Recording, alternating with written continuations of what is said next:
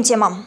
Проблема, о которой нужно говорить. 15 детей сейчас находятся в Центре адаптации для несовершеннолетних. У каждого своя история и свои проблемы.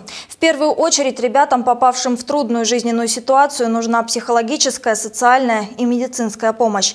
Специалисты Центра отмечают, в этом году юных постояльцев стало больше. С чем это связано, пыталась выяснить Ксения Куценко.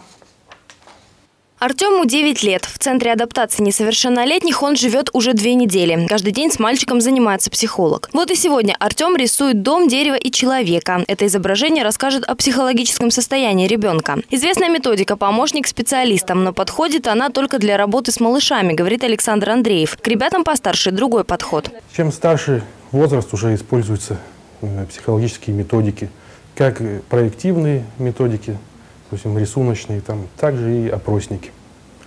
По результатам каждый там составляется уже заключение, разрабатываются рекомендации воспитательскому составу, как работать с детьми. В центре 15 детей. Они попали сюда по разным причинам. Здесь делают все, чтобы им помочь. Как правило, дети, попадающие сюда из социально неблагополучных семей. Причинами являются также бродяжничество детей, асоциальный образ жизни родителей, это наркомания, алкоголизм. В сравнении с прошлым годом количество детей у нас увеличилось порядка ну, на 50 детей. Вот. Дети к нам попадают в возрасте от 3 до 18 лет и в течение трех месяцев – вот в течение этого периода э, оказывается им социальная помощь, устанавливается статус э, их детей. Кто-то возвращается к родителям, кто-то обретает новый дом. Своей главной задачей в центре считают помочь детям, попавшим в трудную ситуацию, поверить, показать, что они не одиноки. Ксения Куценко, Тимур Ахматуллин. Новости МТРК.